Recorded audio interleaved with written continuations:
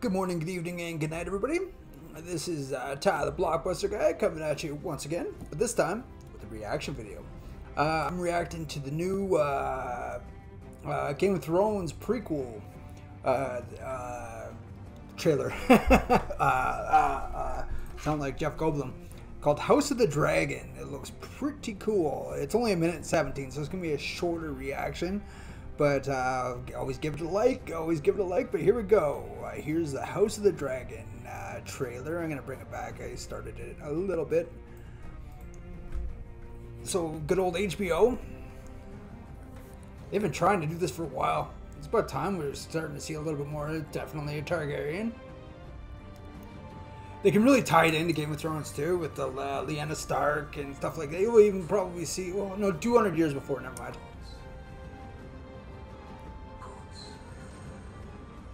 See, I don't know, is there going to be White Walkers in this too? There's the Hand of the King. A dynasty reigned. The House of the Dragon. She even kind of looks like Dany.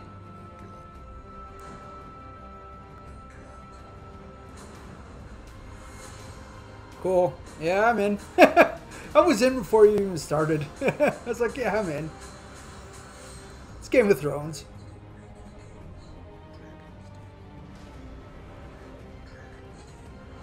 Let's see the dragon. I want to see it. No, they're not even gonna. They might show it. No, House of the Dragon, Game of Thrones. No D and D this time, so it's good.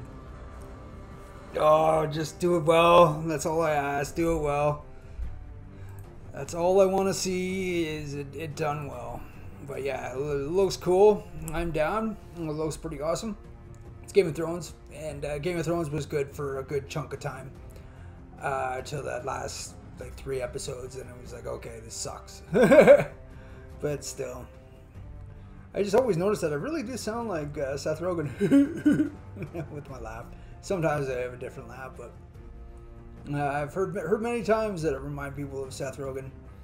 Then I got I get Ron Perlman too. With the, the, I got like a longer chin. I guess it's very Ron Perlman like. Uh, I've gotten Will Ferrell before. Fuck a ton of TJ Miller. When I moved to a new place back, my last place in Barrie, uh, they all said, "Holy crap, you look like TJ Miller," and I guess I do. But he kind of he's kind of a douche. He, he definitely got canceled. I'm not that type to get canceled. I'm pretty respectful. But yeah, that's uh, my tangent again, like I do. Uh, and that's the new trailer for Game of Thrones. I wish we would have seen uh, the dragon, but they're probably going to save that for later. I think it's 2022 that's coming out. I'm mm, probably editing right now. And yeah, Tyler Blockbuster guy signing off. Uh, give me a like, give me a subscribe, and uh, comment on what you think about Game of Thrones. Are you looking forward to this or not?